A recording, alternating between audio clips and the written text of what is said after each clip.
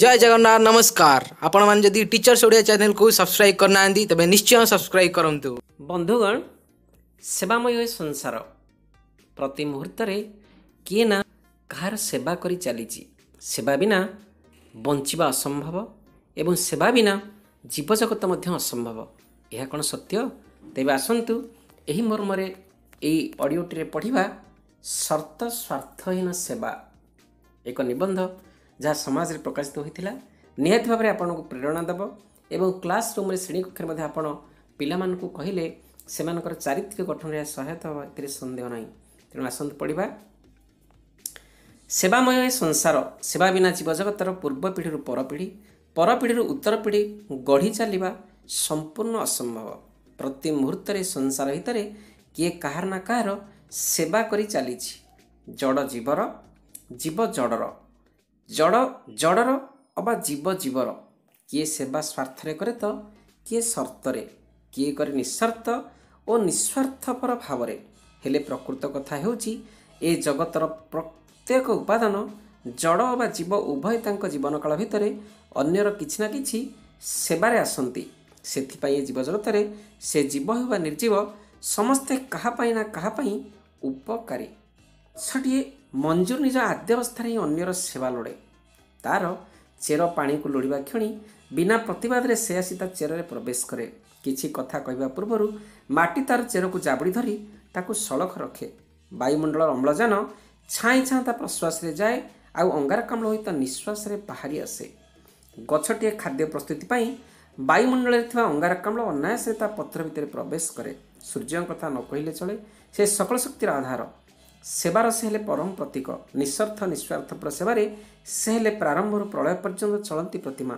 ବିନା ଦ୍ୱିଧାରେ ଖୋଲି ଦିଅନ୍ତି। ନିଜର ଆଲୋକର ପସରା ଯେଉଁଥିରେ ପତ୍ର ରାନ୍ଧି ଚାଲେ ନିଜ ସହିତ ସାରା ଜୀବଜଗତ ପାଇଁ ଖାଦ୍ୟ। ଆକାଶ କଥା କ'ଣ ବା କୁହାଯାଇପାରେ? ମେଲି ଦେଇଛି ତାର ବିଶାଳ ବକ୍ଷକୁ ସମସ୍ତଙ୍କ ପାଇଁ ବିନା ସର୍ତ୍ତ ବିନା ସ୍ୱାର୍ଥରେ। ଜଳ ହିଁ ଜୀବନ। ହେଲେ ଜଳର ଜୀବନ ନାହିଁ। ବାୟୁ ଜୀବନ ପାଇଁ ଅପରିହାର୍ଯ୍ୟ। ହେଲେ ସେ ନିଜେ ନିର୍ଜୀବ। ଉତ୍ତାପ ବିନା ଜୀବନ ଅସମ୍ଭବ ହେଲେ ଅଗ୍ନି ଜୀବନହୀନ। ଆକାଶରେ ଜୀବ ଭରପୁର ହେଲେ ଆକାଶ ନିଜେ ଜଳ।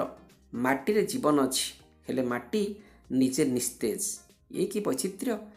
ନିର୍ଜୀବ ପଞ୍ଚମହାଭୂତର ନିଃସ୍ୱାର୍ଥ ନିଃସ୍ୱାର୍ଥପର ସେବାରୁ ହିଁ ସଜୀବର ସର୍ଜନା ବଂଶ ବିସ୍ତାର ଓ ବୃଦ୍ଧି। କିନ୍ତୁ ବିଡ଼ମ୍ବନା ଆମେ ସଂସାରର ଶ୍ରେଷ୍ଠ ପ୍ରାଣୀ ମନୁଷ୍ୟ ହୋଇ କେବେ ହେଜୁନୁ କିମ୍ବା ଭାବିବାକୁ ଆମ ପାଖରେ ସମୟ ନାହିଁ ଯେ ଆମେମାନେ କେବଳ କେତେକ ଜଡ଼ ଆଉ ଯେଉଁମାନଙ୍କର ନିଃସ୍ୱାର୍ଥ ନିଃସ୍ୱାର୍ଥପର ସେବାର ଶେଷ ଉତ୍ପାଦ। ଆମେ ଆଜି ପ୍ରତ୍ୟେକ ଯେଉଁ ଅବସ୍ଥାରେ ଓ ଯେଉଁ ଭାବରେ ପହଞ୍ଚିଛେ ତା ପଛରେ ଯେଉଁମାନଙ୍କର ନିଃସ୍ୱାର୍ଥ ନିଃସ୍ୱାର୍ଥପର ସେବା ଅଛି ଯଦି ତାର ଆମେ ତାଲିକା କରି ବସୁ ତେବେ ତାହା ଏକ ଅତି ସୁଦୀର୍ଘ ତାଲିକା ହେବ ଏଥିରେ ଦୁଇମତ ନାହିଁ। ଯେମିତି ଘରର ସମସ୍ତ ନିର୍ଜୀବ ବସ୍ତୁ ଖଟ ଶୋଇବାକୁ ଚୌକି ବସିବାକୁ କଲମ ଲେଖିବାକୁ ବହି ପଢ଼ିବାକୁ ଏମିତି ଅନେକ। ଏମାନଙ୍କର ନାହିଁ ଆମ ପାଖରେ କିଛି ସର୍ତ୍ତ ଆଉ ଆମଠାରୁ କିଛି ସ୍ୱାର୍ଥ ସେମାନଙ୍କ ଅସ୍ତିତ୍ୱ ଥିବା ପର୍ଯ୍ୟନ୍ତ କୌଣସି ନା କୌଣସି ପ୍ରକାରେ ନିଃସ୍ୱାର୍ଥ ନିଃସ୍ୱାର୍ଥ ଭାବରେ ଆମର ସେବା କରି ଚାଲିଥାନ୍ତି। ମାତ୍ର ଆମ ଜୀବନକୁ ଯଦି ଜନ୍ମରୁ ଆମେ କେଉଁମାନଙ୍କୁ କେତେଜଣଙ୍କୁ ନିଃସ୍ୱାର୍ଥ ନିଃସ୍ୱାର୍ଥ ଭାବରେ ସେବା କରିଛେ ଯଦି ଏହା ତାଲିକା କରନ୍ତେ ତେବେ ବୋଧହୁଏ ତାହା ଏକ କ୍ଷୁଦ୍ର ତାଲିକା ହେବ। ହଁ କାଁ ମା କେତେଜଣ ମନୀଷୀଙ୍କର ଲମ୍ବା ହୋଇପାରେ। ଆମେମାନେ ଜୀବଜଗତର ସର୍ବଶ୍ରେଷ୍ଠ ଚତୁର ପ୍ରାଣୀ ପ୍ରାରବ୍ଧର ପୁଣ୍ୟପୁଞ୍ଜିରେ ଅନେକ ଜନ୍ମ ପରେ ଏଇଟା ଆମର କୁଆଡ଼େ ଦୁର୍ଲଭ ଅବତାର। ମାତ୍ର ଭଗବାଦରେ ଆମେ ଏତେ ତଲ୍ଲୀନ ଯେ ସ୍ୱାର୍ଥ ଓ ସର୍ତ୍ତ ବିନା ସେବା ଆମ ଜୀବନର ପାଖ ମାଡ଼ୁନି। ଜୀବନରେ ଶରୀର ଯେତେବେଳେ ଧେଚା ଦେବା ଆରମ୍ଭ କରେ ମନେ ପଡ଼େ ସେବା ଭଗବାନଙ୍କ ଆଶୀର୍ବାଦ ପାଇଁ। ଅନ୍ୟଥା ଜୀବନର ଅନ୍ୟ ସମୟରେ କେବଳ ପୁଣ୍ୟ ଅର୍ଜନ ଲାଳସାରେ ହେଉ ଅବା ପ୍ରତିବଦଳରେ କିଛି ସ୍ୱାର୍ଥ ହାସଲ ପାଇଁ ହେଉ ଆମେ ସେବା କରୁ। ହେଲେ ନିଃସ୍ୱାର୍ଥ ନିଃସ୍ୱାର୍ଥପର ସେବା ପ୍ରାୟ ଆମ ଜୀବନରେ ନଥାଏ କହିଲେ ଚଳେ। ଆଉ ଯେଉଁମାନଙ୍କ ଜୀବନ ସେବାରେ ସମର୍ପିତ ହୋଇଥାଏ ସେଇମାନଙ୍କ ଜୀବନ ହିଁ ଧନ୍ୟ ହୋଇଥାଏ।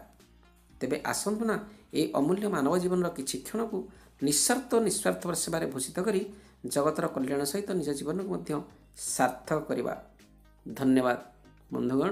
ନିହାତି ଭାବରେ ପିଲାମାନଙ୍କୁ ଏହି ସେବାର ମହତ୍ତ୍ୱ ସେବା କିପରି ଜୀବନକୁ ଜାଜୁଲ୍ୟମାନ କରେ ଏବଂ ଅମରତ୍ୱ ପ୍ରଦାନ କରେ ତାହା ନିହାତି ଭାବରେ ବୁଝାଇଲେ ପିଲାମାନଙ୍କର ଜୀବନ ଧନ୍ୟ ହେବା ସହିତ ଆପଣଙ୍କର ମଧ୍ୟ ନିହାତି ଭାବରେ ସମାଜରେ ମଙ୍ଗଳ ସାଧିତ ହେବ। Thank you